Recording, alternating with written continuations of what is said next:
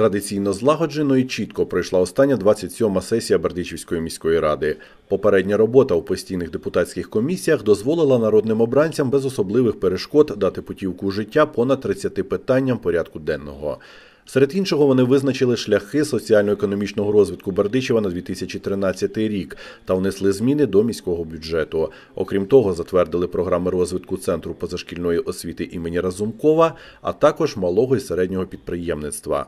Пропозиція голови асоціації підприємців Олександра Доманського звернутися до керівництва держави, аби єдиний соціальний внесок із 38% зменшили до 15%, було вирішено найближчим часом розглянути на засіданні депутатських комісій.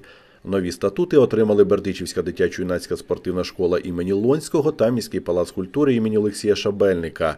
Цілий ряд рішень, ухвалених народними обранцями, стосувався об'єктів комунальної власності та земельних питань.